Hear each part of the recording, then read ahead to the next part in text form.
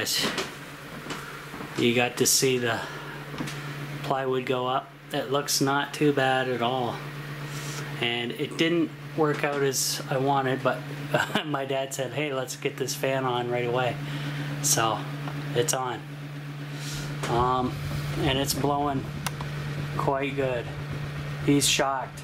I'll show you how much the draw is on this thing. I had to wire it in uh, just via, I haven't taken the thermal pan and bent it down yet, but there's the wires coming in and I got it hooked directly up to the load side of the PWM um, right there. I had to go a little bigger on the red positive wire because it was a pain. So let me just show you how much power this thing's draining. Um, 0.4 amp hours. 0.5. 0.5 amps. And I moved the light is being powered over here on the blue battery pack now, so um, pretty awesome. So my dad wanted to have that hooked up right away because he never seen these run yet. So he's pretty happy about this and so am I. And thanks for the help, Dad.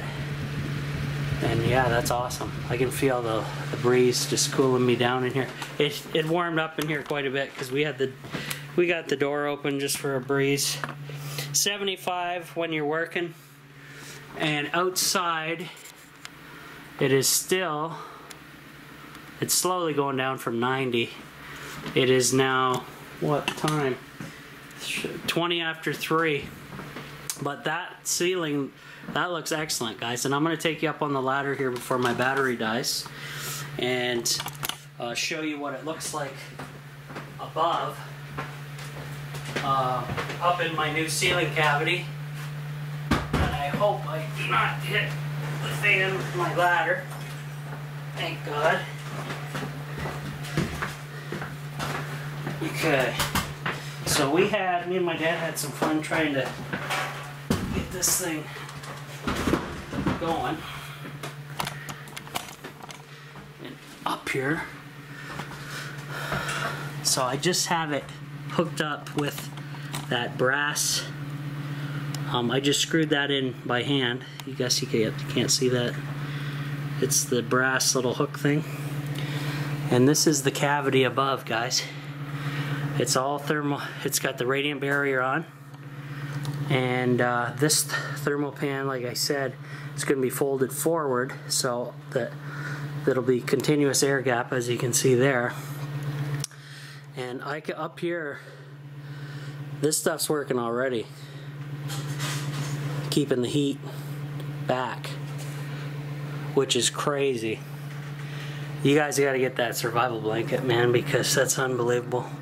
But anyway, I'm going to put another 1x2 here, screw it in to this one before I get the next uh, piece in. And I may have to scab in a piece here because we ran into issues. I'll show you. Um, we ran into issues right back here where I thought we were going to be flush but obviously the 2x4 is a little longer than what I wanted but we were able to remove my screw and bring this bring this 1x2 flush to the edge and screw it in. So it all locked into place after all and this is still locked in here. So we're good. And this guy's gonna move a lot of air keep the heat from the stove circulating a lot better into the tiny house now, guys. And that looks like a damn good ceiling compared to what it is. There's the new guys, obviously, and there's the old. That's gonna be all covered up. And I still have enough space, like I cannot reach the top with my hands, but I'm thinking if I jump on the elliptical, I would hit. Um, so, we're gonna have to rethink some of this for the elliptical machine. Elliptical maybe be, uh, be moving into the storage room. Oh, speaking of the storage room, guys, I got my dad gave me some stuff out of his trailer I, I don't know if I showed you, he gave me an extension cord. I got some heavy gauge wire. And he gave me this, uh, it's an, also an extension cord, but it's a cord caddy, so I got receptacles hook into that.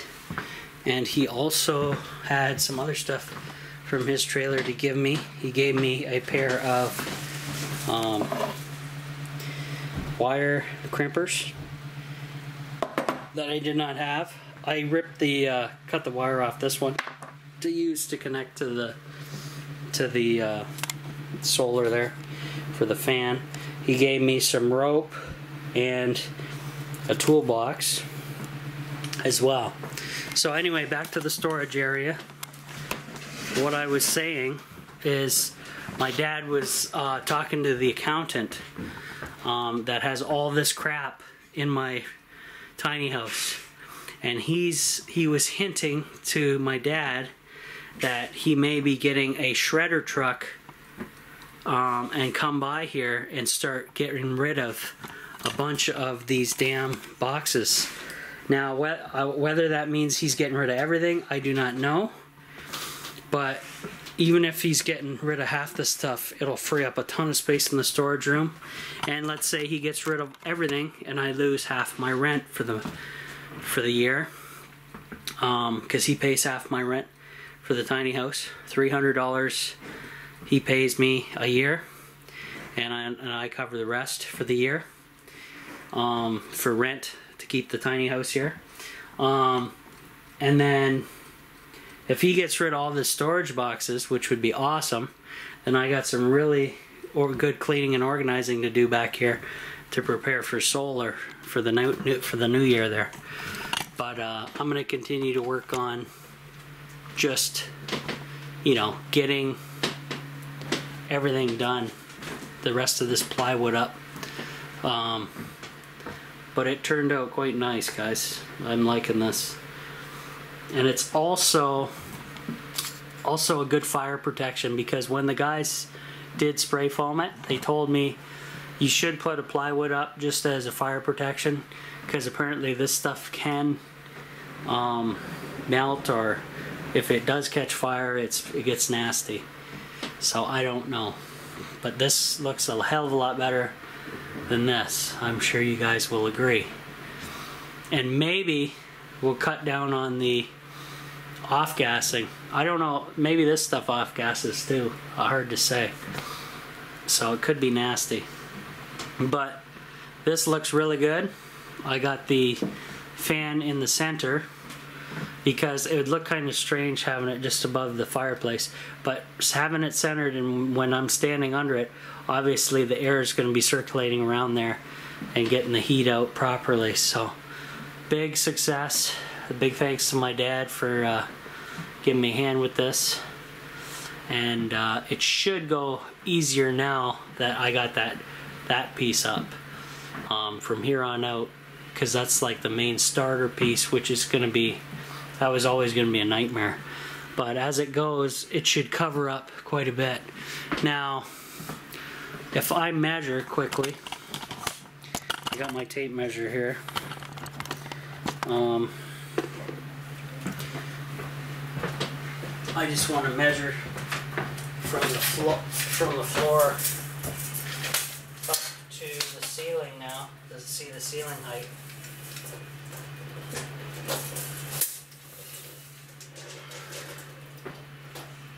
Okay.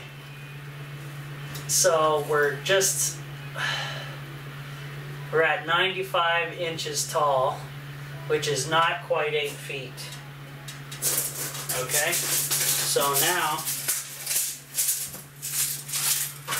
it's a little less than 8 feet tall ceiling, guys. So now I want to see back here, um, sorry about the angle, see where this wall will line up when I get over to this side. I know it's going to be shorter because it just looks that way.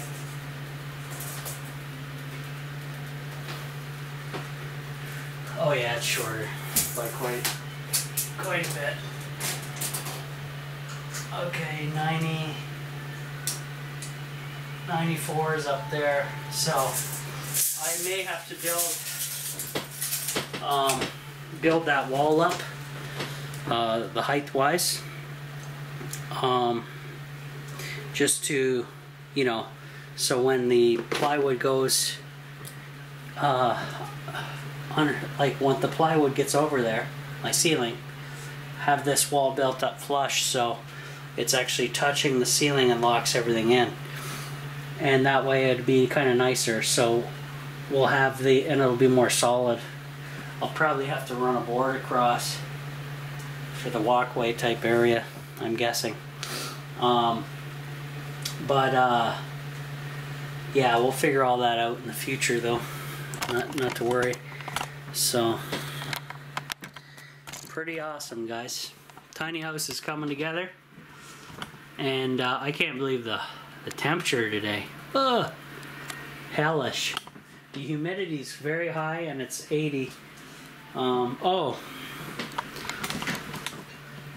I got to uh, take off, give my dad a hand. He's I'm helping him clean up his trailer, and he's helping me with a little bit over here. So, you know, we trade hands. Um, and that'll be it for today's video, guys. Uh, but right now, um, this thing is ready for winter. But obviously, I'm not going to stop here. I'm going to keep going with the ceiling and put the rest of it up. Um, because I want to take full advantage of that radiant barrier and uh, seal this ceiling up nicely. And it should clean stuff up. You can see the light shining from back there where there's like a little gap. I wonder if I move that a bit. Because I didn't have that before. Let me ch check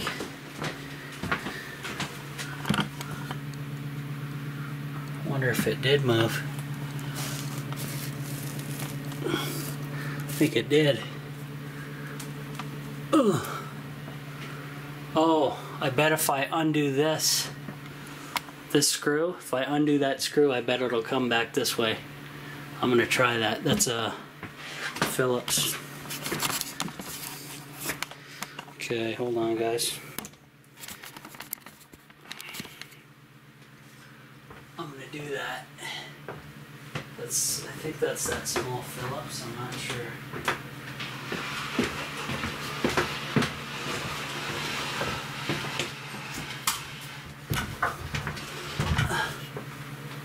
Let me go see what that is, I don't remember. Small Robertson.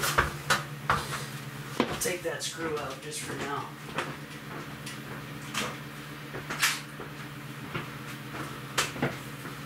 Okay. I got a baby Robertson right here.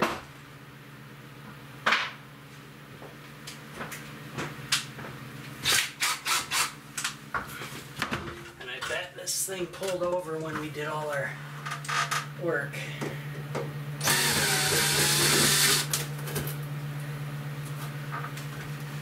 Did it?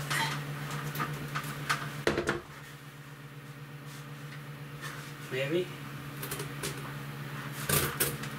Uh, didn't seem to do much. Okay, I'll put it back in.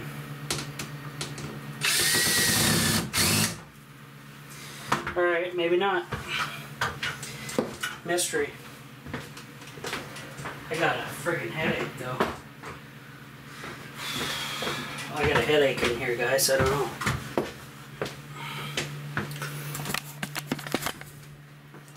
Oh well. Well, no, I'm not worried about it too much. Um, battery's about to die. That's about it for this video, guys. I'll get back to you uh, on the next video when I get more materials and can get everything prepped and ready um, for the next piece, which will probably be right above me. Um, and I think it's gonna look damn good. And that's just, and oh, I gotta pick up those one inch drywall screws as well because uh, need a whole lot of that stuff just to keep going here. But anyway, that's it for now guys. We'll see you on the next video. I'm just kind of cleaning stuff up. I'm going to shut the fan off. I'll do that now while you guys can see it. And we'll see what happens here as we get ready.